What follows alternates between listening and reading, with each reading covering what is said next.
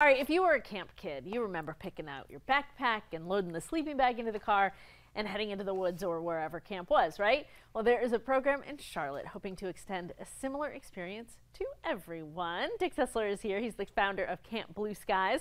Robin Calloway is a camper. Good to see you both. Thank you. Uh, thank you. Thanks for coming in. Dick, good to see you again. I want you to remind everybody what Camp Blue Skies is all about. So Camp Blue Skies serves adults over 21 who have developmental disabilities like autism or Down syndrome.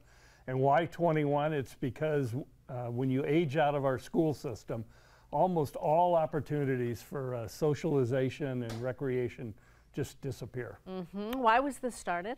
Started in 2010. And we had 10 years of camp and then two years of virtual camp.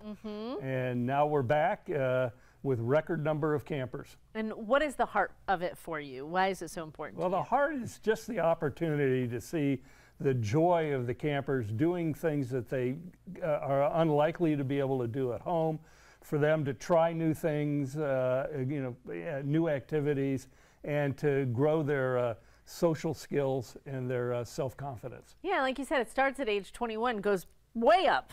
70 years old. 70 years old, which I love. Robin, I want you to tell me about the first time you went to Camp Blue Skies. So I, I wasn't really sure if I would like this camp. Okay. So I kind of like tried it out um, with kind of like a small group um, of my pals and my peers. Yep. And uh, I hate to leave because I had tears tears of joy go, going down my face, and Why did you think you might not like it? I just wasn't sure what it's gonna what what I'm gonna what it's gonna like be like. Um, and here I am, 11 years um, ago. Wow.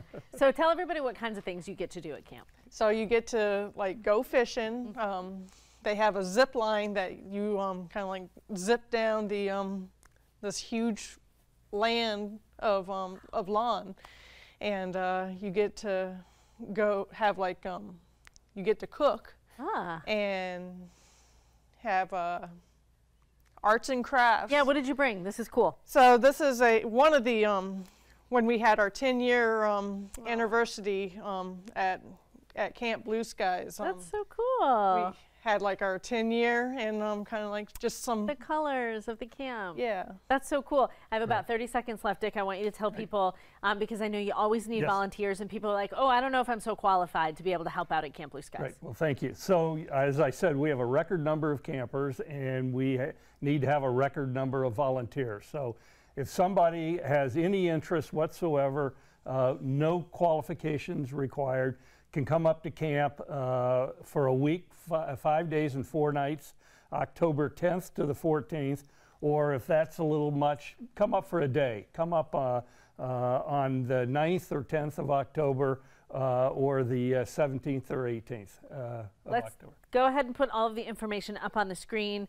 Um, I know that you know this is such an important thing, especially in some cases for parents and caregivers. They just need a little bit of a break, and this is a great opportunity. Makes everybody that's involved happy, and I'm sure y'all take donations as well. Well, we do, of course. so you'll find out about that there as well. Robin and Dick, good to see you both. Thanks Thank for coming for to having see me. us. Good to see you too. Thank That's you. pretty cool, right, Jorge?